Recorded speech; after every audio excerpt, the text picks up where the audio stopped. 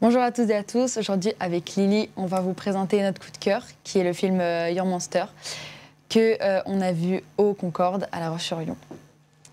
Bon alors, ce film, il parle d'amour, de perte et de, force pour se relever. Euh, c'est l'histoire de Laura. C'est le personnage principal qui traverse, on va dire, des, moments difficiles parce qu'elle est atteinte d'un cancer et puis suite à une petite rupture également. Elle est donc malade et ne travaille pas.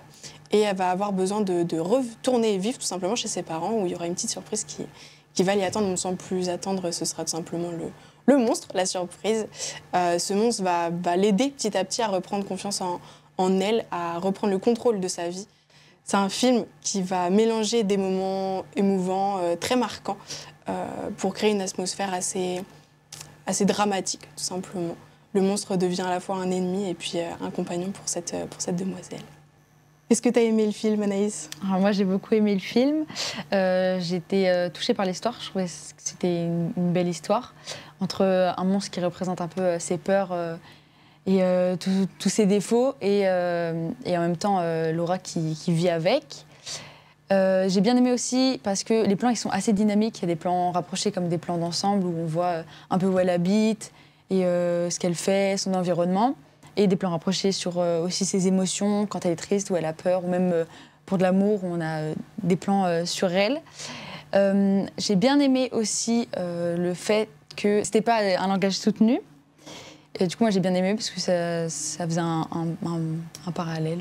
Oui, c'est vrai qu'on a entendu pas mal de personnes rigoler dans la salle, c'était super agréable. Surtout quand le monstre, du coup, parlait. C'était mm. C'est vraiment pas mal.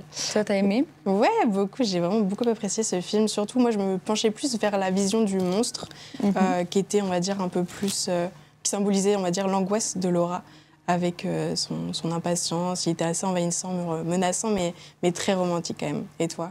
Moi, contrairement à toi, je m'identifie plus à Laura par rapport aussi à sa sensibilité, par rapport au monstre et à ce qu'elle, a son vécu.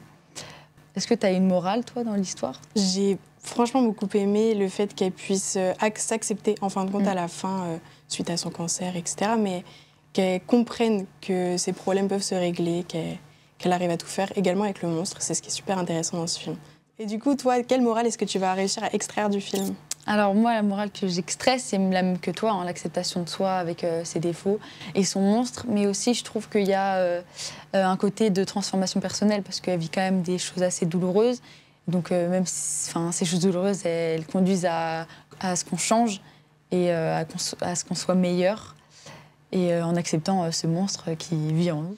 Merci Libre cet échange et je vous conseille à, vous tous et aux fans de cinéma d'aller voir ce film qui a un côté intrigant et aussi pour son aspect esthétique. Au revoir.